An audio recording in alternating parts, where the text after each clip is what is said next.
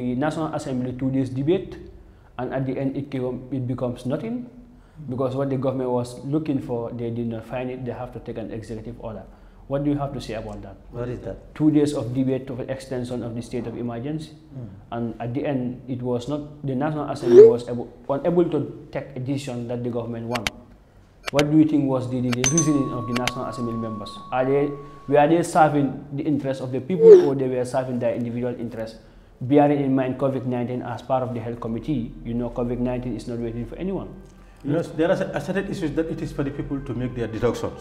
It is not for us. I'm not the one who should be concluding for people, the population, for people. It is them who should, who are observing, who are, who are seeing what is happening, and they're the ones to make their conclusions or deductions.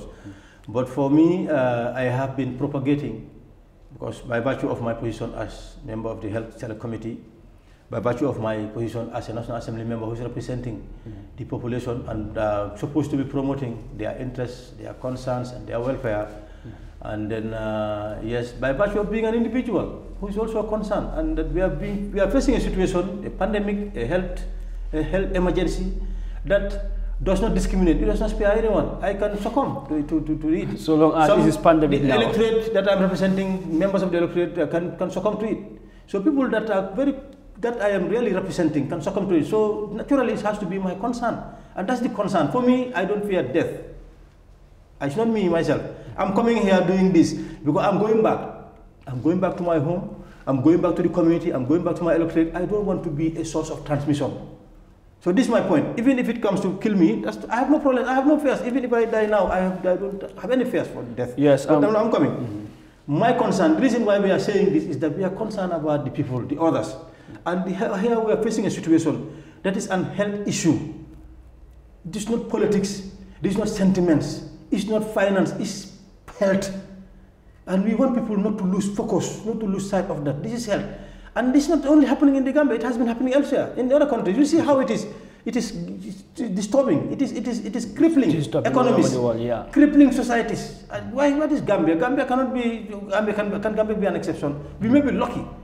We may be lucky, just, just it's just luck, may luck. That, uh, and that's, that's, that's what we're experiencing now. It's luck. Yeah. That we don't have serious cases, it's only one death, but it's life. and someone who is saying that he's not, the, the, the, person who died is not even a Gambian. But the person is life. We have to concern about life. Yes. So that's my, my, my position. That uh, for us, when this thing was brought before us, we supported it. And it has to come before us because the country, the executive cannot do anything without engaging the National Assembly, without getting the approval of the National Assembly. That's the laws.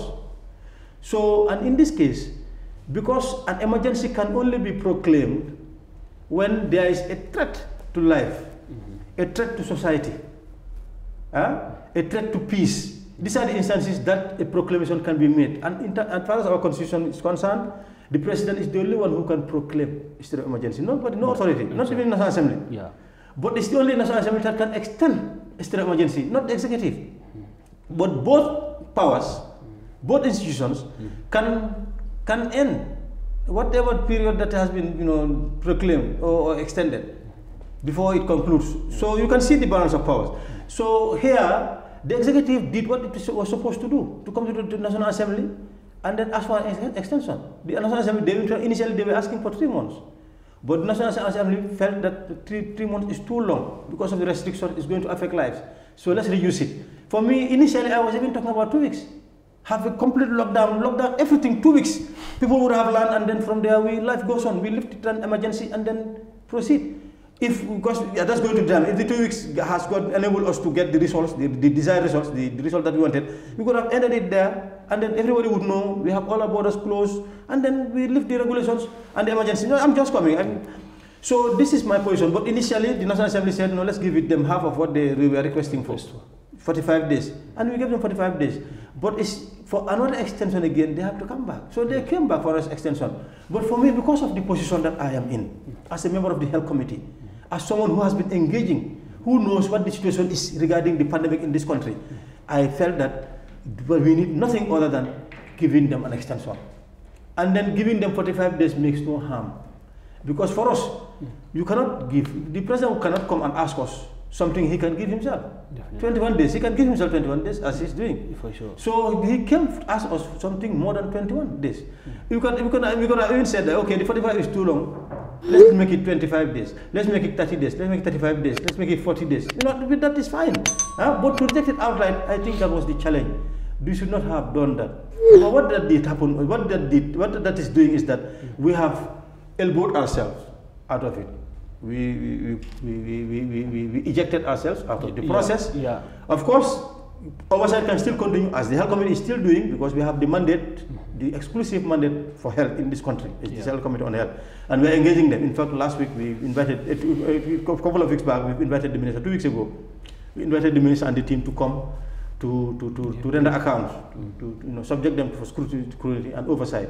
And then the committee is even planning to present the report during this uh, coming session, which is starting on Monday, the second ordinary session, Monday, 15th June. 15 June. So driving at the point, just uh, to, to let me just clear this uh, co- to conclude, is that uh, I felt that uh, that's my conviction. Members of my party also, this was our position, and some members of the National Assembly. That it's necessary to give them an extension, but an extension because by giving them an extension, we had a committee that was established by the National Assembly called Special Select Committee on the implementation, on the monitoring of the implementation of the regulations. And you know, emergencies are emergencies because of regulation. Yeah. It's just empty if you don't have regulation. Exactly. So, and these regulations, that is the concern, because these regulations that is affecting the, the regulations that are affecting the people. Like the regulation that's saying that close your business. Some businesses are closed by regulation. Mm-hmm. So, and then people, some people depend on that for their livelihood, for their survival. Sure. So, and you've closed those businesses, so you're bringing hardship to those population, those, those, those, those, those, those, those persons, those, those families, yeah. those individuals who are dependent on these businesses that are, that are affected by regulation. Mm. And the regulations are, the law is also saying, because the president relies on section 35, that, is, uh, that gives him the power to make a proclamation of inflation, and also the Public Emergency Act. Mm -hmm. That those are the, those are the two, the, the two laws, two laws yeah, that have, you know, given him the power to, yes, and and then these regulations, the, the act is also saying that businesses or operations that are affected by regulations should be compensated, and that is not being done. So I think it would have been important for the National Assembly to allow this emergency regulation to, to the extension to, to, to, to be granted, Yeah. so that this committee will continue working, health committee will also continue working, and then we'll be calling them, interrogating those regulations, and that's what we should be doing now. Now we should be interrogating those regulations, and then ease some of them, so that uh, those that are that are whose livelihood uh, is affected, Suffered, yeah. is affected would be would be would be, would be their, their situations would be addressed, and then of course the, the emphasis is we must be doing physical distancing. People are taking this not seriously. People are complacent. It's business as usual. Some are just doing it defying. It's not based on on, on facts. It's not based on, on science. It's not based on knowledge. It's not based on religion. It's just sentiments and politics. That's what Yeah, I've seen, um, and that's the unfortunate thing about it. Some people are talking about finances. I'm telling them that finances. What finances? Some are saying that's argument. That's the argument. Some are some are some are some are part- some are let, let, let me make it um, clear to you that there are arguments and they seem to be very valid. One was um, the, 90, uh, the, the, the first 45 days that was allocated by the National Assembly. Um, there were regulations put in place, but the enforcement of the regulation failed because um, the, the government or the executive and the people failed to um, you know, adhere to the regulations. So therefore, what was the reason of extending it again when the first regulation ab initio that was meant cannot, you know, was not able to be enforced? So people are saying, well, we cannot extend it when the previous regulation that was put in place cannot be enforced. So why should we? Okay, my response to that is that uh, uh, let's just let me just give you this analogy that we are in this room. There's a snake in this room, Mm-hmm. and you are assigned the responsibility to use a stick to kill the snake mm-hmm. because you are afraid of the snake. For some reason, either, either, you are afraid of the snake or whatever, but you have a stick and you don't want to kill the snake. And then they said, no, let's just leave the snake. Let's leave the snake inside the, in, in the house. Mm-hmm. Is that, a, is that tenable? That argument is not tenable. This is my point. That argument is not tenable because COVID 19 is a disease that is in this country and is real. It kills. Although the mortality rate is, is, is slow, is, is very low, but that does not mean that it's something that should be dismissed. That should not, that's my point. The- It is here, so because they did not implement it, so therefore, let's just leave, let's just leave COVID 19 to come and do, to, to come and create havoc, do whatever it wants to do. And the other argument is that um, so many people are saying COVID-19 is not the only disease in the Gambia. As we just highlighted previously, Um, there are people that die because small, small illness, malaria, kill majority of the Gambians people here, and still the government is not doing anything when coronavirus came. Are they using it just to advocate or looking for money? Or people are saying they're using coronavirus, you know, to have money. Others are saying they're using coronavirus that the emphasis they put on coronavirus can, should not even be put on coronavirus because there are diseases in the Gambia that kill majority of the people. So for me, I what just, do you say to that suggestion? No. I just don't understand some people because coronavirus is not unique in the Gambia. It's happening elsewhere, even to our immediate neighbors, closest neighbor, Senegal. You see the havoc it is wrecking in Senegal. So they want to blind them themselves in, to, that reality that it does not exist. It cannot go. So therefore, we should not bother up with COVID-19. So is that the argument that some people are using it to That- make money? Yes, that's the argument. Some people because are using it to make we- money. We show the, the, No, that's what I'm saying. These arguments are not tenable. They are not justifiable. Yes. They are not. They cannot. They are not convincing. That's what I'm saying. That some people. Um, it's very unfortunate that the discourse that I'm hearing, the discourse around this, in some quarters, is very unfortunate. definitely. How can we talk about money? But for me, my assurance is that you have National Assembly committees that are responsible for scrutiny, that are responsible for oversight. I'm talking to you. Health committee Yeah. is supposed to be engaging the health sector Yeah. to ensure that whatever resources that are committed are put in the right place. Whatever they should be doing are done. If not, you flag it, make recommendations, and then you know take action.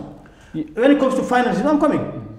The committees, the National Assembly should be able to, and they should be, ensuring that every butut is accounted for at the end of the day, even during the process. So what this is the fair. The National Assembly is supposed to be doing that. Now, the focus attention is that it's not the money.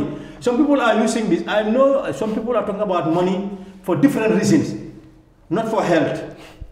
And the concern is that the, if you are talking about money, we should talk about the money, but we should talk about the money in relation to health. That whatever money is, whatever resources that are committed in this, must go to the sector. Because at the end of the day, what we want is for me Yes. and for the Gambia, it's an opportunity for us to ensure that we build our healthcare delivery system, make it robust, make it resilient, that is endurable, mm-hmm. hmm? Mm-hmm. Yeah. make it responsive mm-hmm. to the needs of the population, make it efficient, make it effective, make it accessible, make it affordable. And this is an opportunity for us to do that. They got, the executives has indicated to the whole nation that they are going to commit 500 million dollars in, in, in this. And then so far, they, what they have expended is nearly less than 200 million. So let's ensure that all these monies are put in the healthcare system. We have good hospitals, good services there, trained workers, motivated workers, access to drugs, Yeah. access to quality healthcare. I think this should be the focus. This, but that's, I'm telling you, um, it's very unfortunate that the people who are talking about this money, they are not talking about money in relation to health, but they're talking about money for other things. For other but things. I'm telling you, what they should be doing now is that they should be putting the National Assembly to task, the committees of the National Assembly to task, to ensure that every butut is accounted for. Yeah, um, the I this, think that be the this argument came when African leaders um, trying to engage IMF, International Monetary Fund, to uplift some of the loans that they owe them because of COVID-19.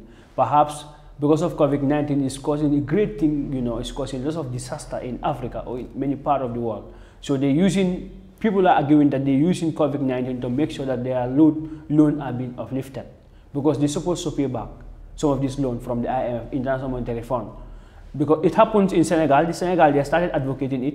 So when most of the government people heard about that, some lose the, the, the, the, the side effect that um, coronavirus is life and deadly, and it cannot wait for anyone. Whosoever you want to use it to, as a gain of money, perhaps that might not work. So so many people have the, the conviction that the government is using it just to secure fund because we saw donation coming and stuff like that. But um, argument like yours can be very you know important. What do you say to that suggestion too? Whether the government use it so that they will uplift their loan that they have with you know the donors countries or other countries in international monetary fund because in international monetary fund the Gambia owe them huge amount of money.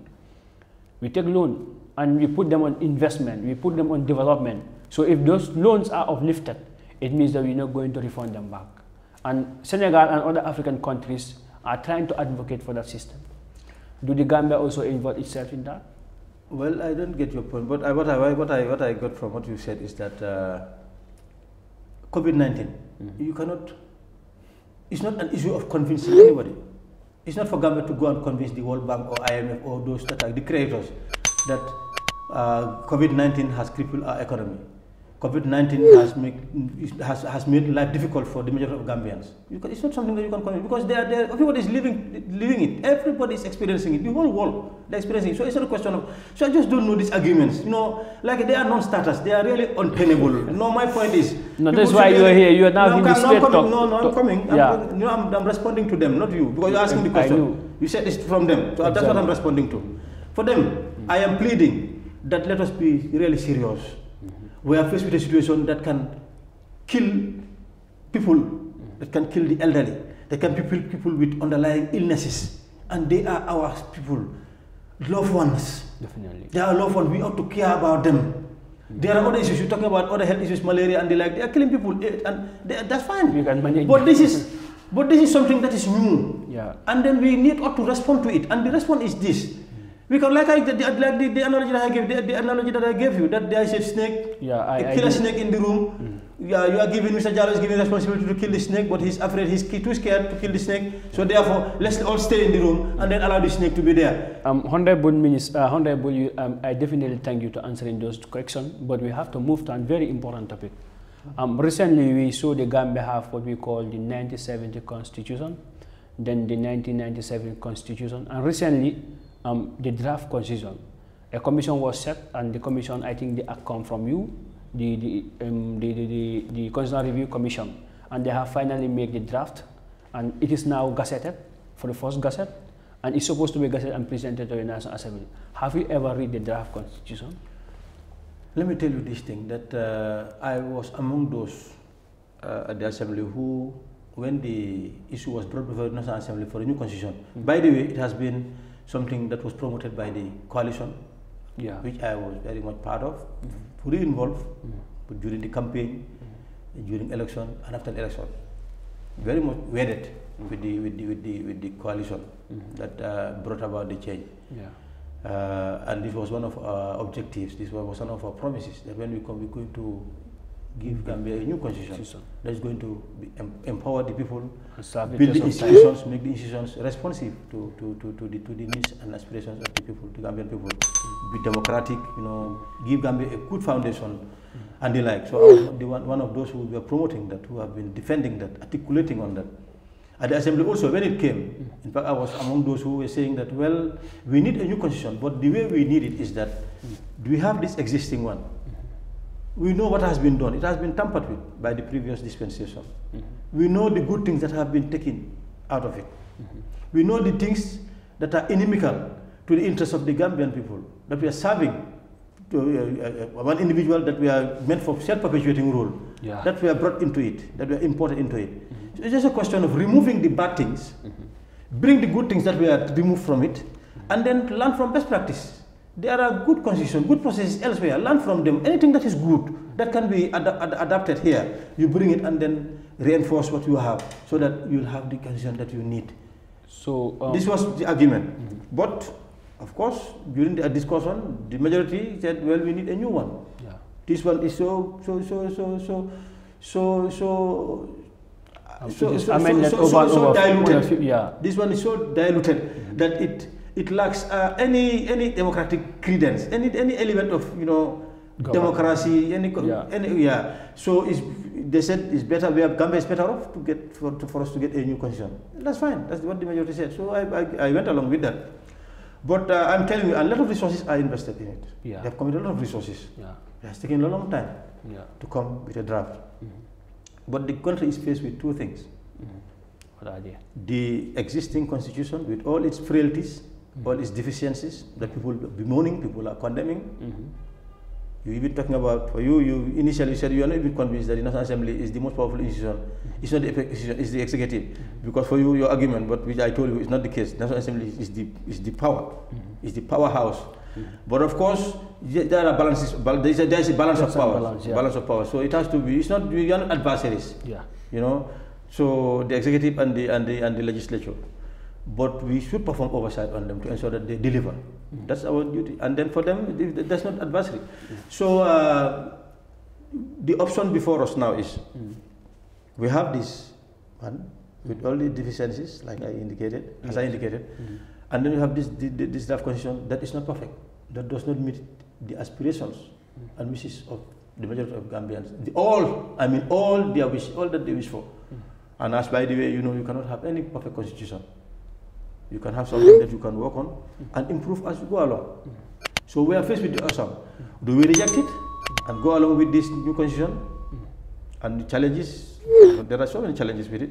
Yes. Or we bring that one and then in the process we try to improve on it as we get along. All the, these deficiencies that we feel, you know. But uh, do you do you read the draft constitution? no, I'm t- this is what I'm telling you. I'm, this is what I'm telling you. We have two con- constitutions. It's a question of now, because now it is going to be brought before the National Assembly.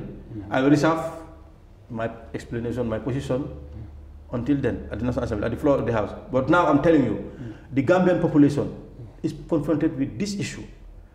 Either to reject this draft constitution,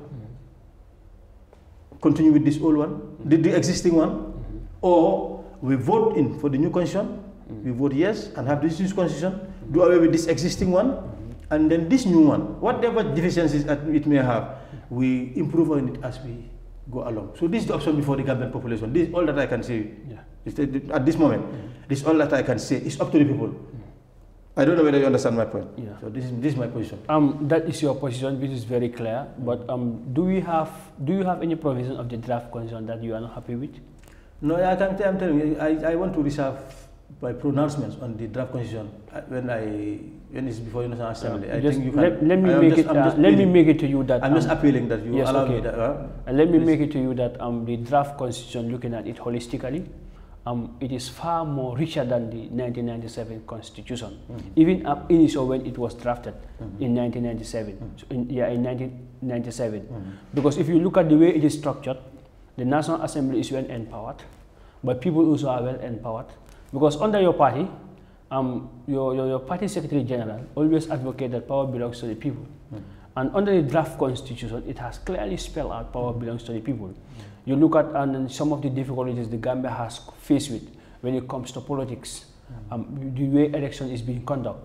Um, look at now, your, your party is advocating for um, against self-perpetuating rule, but the draft constitution has addressed that issue, wherein a person um, have to get at least um, two term in the office, uh, either consecutive or non-consecutive, which is in, the, in line with your party principle. I know. Um, the other part, which is also very important, is your party was also advocating for absolute majority and not simple majority. Um, wherein so long as you get one vote away from your others, you win. No, but your party were advocating, and I think I saw that reflection on the draft constitution, and also um, the, the, the, National Assembly having the power anywhere that government fund have to be, you held accountable. Like before, you look at the office of the NIA, um, under the office of the president, NIA were under the office of the president, but you National Assembly were not in that position to investigate what is going on within the NIA. So now you well empowered. Um, rights are expatiated. Um, the, the, the, the fasting and access to justice also is expatiated. Because if you look at how the, the, the draft constitution has drafted the, the judicial system, uh, is definitely encouraging. But do you have anything that you're not happy with it, or are you satisfied with such provisions? Well, I think, I think you have made my work, work very easy. You, you, your, your, your, line of questioning, what you question, you, in fact, you have been answering the questions. Uh, you've made my life very easy, make me work very easy. So I don't think I have much to say. But like I, let me just repeat this again. Let me continue saying this: that the Gambian population, Gambian people, are faced with two choices. Yeah. Now is not the time for me to start articulating on the pros and cons of the two constitutions. I'll do that, like I said, either prior before the before it before us, before us, or during that time at the plenary.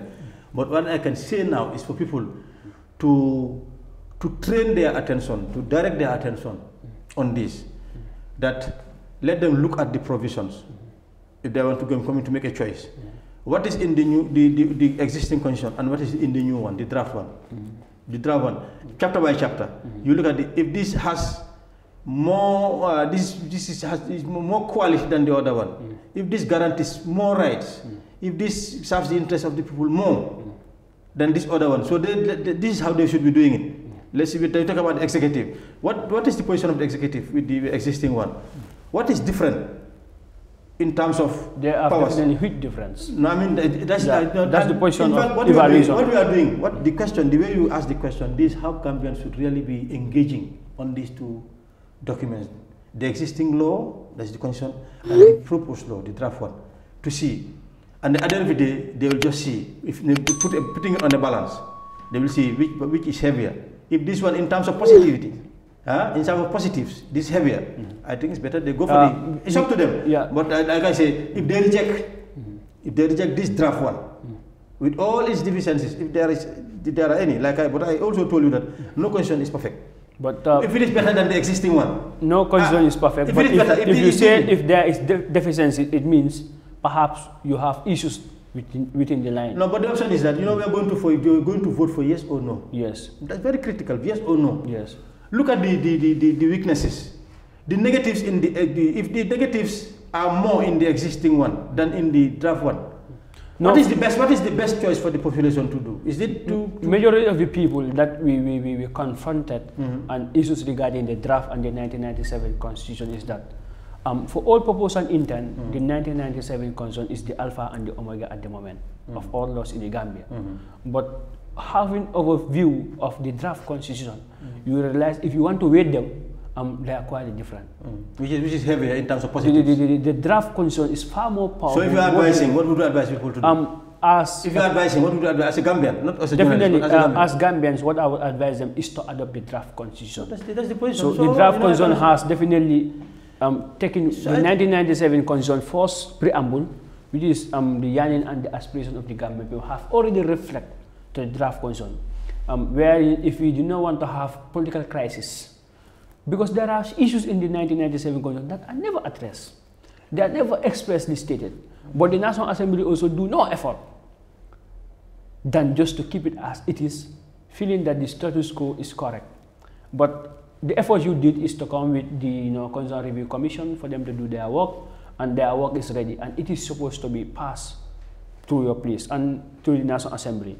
And the threshold also is very high. Uh-huh.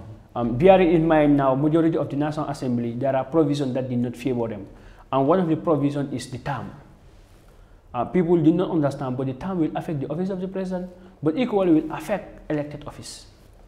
Because there is, no one shall be elected into the office of the president. Okay, you are right, it's only going to be office of the president. But now, how do you see the political landscape of the Gambia? Um, two, three weeks, you heard of a new political party is being established. Now, the political parties that are newly established, they are the very people also that will be, you know, coming to media, start giving allegations or making statements. How do you see the political landscape? Well, uh, in fact, still on your question, I'll, I'll come to that uh, very shortly. Uh, uh, shortly, uh, but the situation is that uh, talking about the constitution is that uh, uh, the there are so many things in the constitution, the current constitution, that is tasking the National Assembly to to give effect to. Like for instance, there is this provision that is saying that there should be a fund, consolidated fund, a fund, Consolidated fund. a fund, disaster relief fund. Yes. Hmm? Mhm. Huh? Mhm. Uh, and then it's the assembly who should come pass an act for that to happen. So at every year they will take from the, the budget mm-hmm. an amount and put it there for in case of emergency. Emergency, yeah. This 500 million mm. could have been something that has been approved by National Assembly since, Since, December, yeah. and then for it to be aside. So there would not have been any need for them to come and then ask for supplementary appropriation, mm. or to look for loan, or to go and look for grant. Huh? So these are the things, and there are so many things in the constitution that are like that. There are some issues that you know it was the national duty of the National Assembly to, to review and then you know process and then pass into law, make make an act uh, in that regard for them to, to, to be law. Uh, so those are the those are the issues with the National Assembly. But it's also uh, important to, to, to make this very clear that the National Assembly, some people just dismiss, as you said, some people are coming, they want legitimacy. They want legitimacy. If you want, if, for them to get legitimacy, they need to condemn, they need to criticize, they need to attack. And Gambians have to be very, very mindful. And some people, because they are coming, they don't want to be part of what, anything that is existing. they want to be independent, which they have rights to be. They, they have rights to. Every Gambian has a right to form a political party, to join a political party, to support a political party. That's their right. Uh, But what I'm saying, for them to justify their existence, they have to be on the offensive. Sometimes it's legitimate, sometimes it is not. Sometimes it's factual, sometimes it's not. So it's, it's up to the Gambian people To decide. to decide. For me, every Gambian has a right to choose your path, political path, to political identity. But at the end of the day, it's the population, it's the people, the electorate that should Yeah, know um, what serves their interest, who um, is out, who is genuinely out to address your concerns, and those that are coming to take advantage of your, your, your, your situation for their own ends. And this brings me to the issue of the vehicles and the land. That we are not going to take that because we are not out. We understand that Gambia, people are living in destitution, poverty abounds, abject poverty. I mean, there are some people So are you suggesting those taking it at no, no, I'm not saying that. No, no, I'm not saying that. I, I, I, told you that they have entitlement for vehicles, they have entitlement for land. That's that's clear. That's not our argument. For us, Doi and Ousman Sillah and Doi, for us, we are out to serve. We want to demonstrate to the population that we are to serve and we want to serve them selflessly. We understand their plight and we have committed our lives to be transforming their lives, to transform their plight, to, to, to, to ensure that there is people live in dignity. Comfortable life. Yeah, and it's, it's possible. Gambia is, we have the resources. Definitely. It's this, the, the, the potentials are latent and they are also visible. They are, they are here. We have land. We have the sea, sea resources. We have people with brains. We have people who are honest, people who are ready to sacrifice for this nation. And then it's, and it's just the population. Now our problem, like I said initially, that Gambia has two challenges. The first challenge is leadership. Those that are vying for political office. Some are committed, some are just taking advantage of the, the conditions so that people will put them into positions. I'm thinking. and then the population also, population, uh, they don't have to blame the leaders. Uh, For me, I don't blame any political, any, political, any politician. It's, the po- at the end of the day, it's population. I don't also blame the population, but at, the- at the- end of the day, it is them. They are the one who should be able to identify. Don't support because we speak the same language, or we are from the same tribe. Don't support because we are from the same family, we have blood, uh, blood ties. Don't support because we are friends. Don't support because we share the, the same religion, or we share the same street, or same. Support the person because this person knows your condition and is ready to sacrifice, is ready to suffer for you to live in privilege, for you to live a better life. And that's what what politics is all about. It's serving. Someone comes to, to, to, to, to, to not to suffer. Political service is to come and sacrifice for the people, forgo privilege, so that people will live in privilege. And that's bring us to the end of this program. Um, but before you go, what is your assessment of um, the, the, the office of the president? The president with his cabinet ministers, and what do what percentage will you give them when it comes to governance? Because as you speaking, um, there is a lot of um, things that you have mentioned, and they are very reasonable. In fact, almost everything is reasonable. But um, and you have a great mind, and you know how governance operate. What assessment are you giving them when it comes to percentage? No, okay. I, I know at, at some point I feel that I don't want to be boxed into certain areas. No, it is, I'm, it- I'm coming. No, but no. is this the straight talk? Well, this and we know you of saying the fact. No, no, We for me- also know you of saying no, what the you fact that believe I'm in. talking, the fact that I'm talking, that that certain things that are not right, they have to do it this way. For us, and by the way, Mm. for us, we just don't condemn. We just don't say, no, the president is not doing this, the president is corrupt, the president is that. No, for us, No, it's that, not that- no, no, it's just a percentage. No, I'm coming, yes. Yeah. No, I cannot, I cannot get into that. What I'm saying is that's not our type of, that's not our politics. For us, we don't condemn. Mm-hmm. We have offered ourselves as a party that we have a program, we can salvage this country. Mm-hmm. We have been, and we have been doing this for 30 years, since, since 1986. Sure. They has been offering Gambians a credible alternative. And people, it's up to the people. Why they have not, they, have not gone for that, settled for that alternative, credible alternative, it's, it's, it's them to decide. But for us, we are not, we are not discouraged. We know that we will, we may reach there. And we will, for sure. I'm, I'm confident. I'm very optimistic. Will, yeah. I'm not a pessimist, otherwise I would have quitted. But I'm an optimist that I know at the end of the day, people would know what serves their interest and would, would go for what serves their interest. Yeah. So that's my point. That for me, I am still there. That uh, for me, I have a responsibility to ensure that things are correct. Um, the president is given a responsibility, and it's my duty to ensure that he serves. I don't. I'm not someone who is there to, to, to, to make sure that the president fails, so that I will I will make political capital. No, I want him to serve and his government. And, and I'm, that's my that's my- I want them to serve. Because if they don't serve, people will suffer. Are And I they, are they suffer. serving as, as you expect? Well, that, what, that's what I'm doing. I'm doing oversight. I'm at the assembly. I'm doing oversight. Like I'm saying, I've been like, look at. I've been telling you that this thing is happening, and this not it's not happening this way. It should happen that way. For sure, So for sure. I'm saying this. For me, I don't wish for them to fail, mm-hmm. so that I will make a political capital. The people will vote for my party or they will vote for me. I want them to succeed, and even for me, Doi, if we see people who can, who can, for me and my party, if we see a party or see individuals who can do things better than what we can do, we will just part and then do other, other things. There are other things that I can do. Ousman Sillah can do other things other than pol- politics, Politics, serving, yeah. serving the population. Um, but because I don't see anyone who, for me, I see many people who are doing, who can do that now. And once we have people, a crop of people, and thank God we have that now. We have so many young people that are coming on board, young men, women, you know, they're coming, even the elderly. So for me, we are very optimistic that Gambia will reach there. We'll get the Gambia that we want. Promised land is, is definitely It's not very far. The promised land is there and it's not very far. And then it's the people who can take themselves to the promised land. For sure, for sure. Not Um, for God to come down. God has given us all the facility, all the faculties, all the powers, all the resources. We- it's just for us to push we're ahead. definitely grateful. And we need a united people. Gambia that is one. Don't allow them, let them not allow politicians to come and divide them on the basis of ethnicity. Exactly. They, they not allow them to divide them on the basis of religion, on the basis of ties, on the basis of youth. So, because some young people, young, so some, young people who don't understand, they're coming and they're taking the advantage that I'm youth. Vote for me because I'm youth. So women who said vote for me because I'm, I'm a woman and you are a woman. Let them be very cautious. Let them be But careful. based on ideas and It's not- policies. it's ideas and policies. Uh, the youth can deliver, an elderly person can deliver. A a female can deliver, a male can deliver. So I'm just be mindful. Don't allow people to fool you. Some people are using those those categorizations. Youth, give the youth a chance. Give the women a chance. When they are not fit, they cannot deliver. Eh, eh, like I said, be, be, be wary of them. Be wary of those that are coming before you. Don't allow them to say use religion, use tribe to, to, to for you to vote for them. Because at the end of the day, those are the ones that are going to deceive. And they, they, they deceived us. You Yeah. can see what is Yeah. happening. Those that have been promoting those divisive political, you know, you know Devices and rule tactics that people use to gain their the- political scores. They are the ones who are deceiving. Um, uh, time is not by our side, but what do you have to say with Sahel Network? Well, TV? thank you very much, Sahel. Uh, these are the initiatives that we should be supporting. When you invite us, we come because we are in this together. You are doing your quota. And then uh, what Ousman Sillah is doing is the same thing that Sahel is doing. Because if you can provide a platform for Ousman Sillah and anybody else to come and talk to the population, particularly those that are serving, so that people will be seeing, seeing their residents in a transparent way, what they are doing, their stewardship, uh, and they deliver, make, they ensure them, they make them accountable. We have, we have to definitely compliment, to, to commend you, to compliment you, to say kudos, uh, keep up, keep it up, and then these are the institutions that we support. These are the initiatives that we support from government and from us. It's a private initiative. Mm. How can government support institutions mm. like?